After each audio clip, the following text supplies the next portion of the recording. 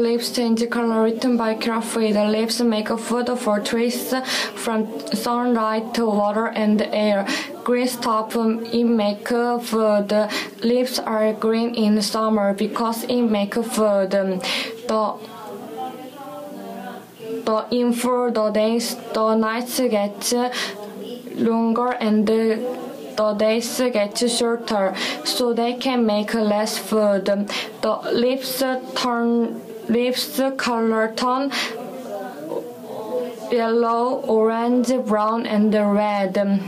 In winter, the in winter they cold to save.